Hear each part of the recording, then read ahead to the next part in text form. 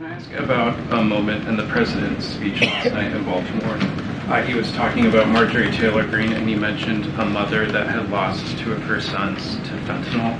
He said the interesting thing is that the fentanyl they took came during the last administration, and then he seemed to laugh. Uh, the mother's demanding an apology, and I'm wondering if he regretted how that came out.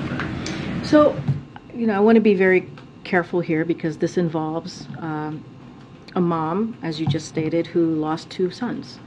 And when it comes to this president, I believe the American people knows who he is fundamentally because he's been around for some time and they have watched him go through grief. They have watched him deal with really personal loss.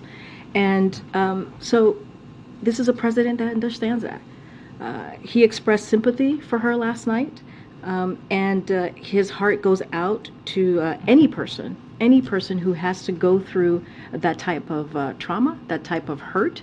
Uh, I will say uh, his words are, are being mischaracterized uh, by by someone who is regularly discredited um, for for things that she says that are really conspiracy theories. And those lies are being parroted by a certain network. Uh, and, uh, and, you know, and, uh, you know, I'll, I'll just leave it there. I'll, I'll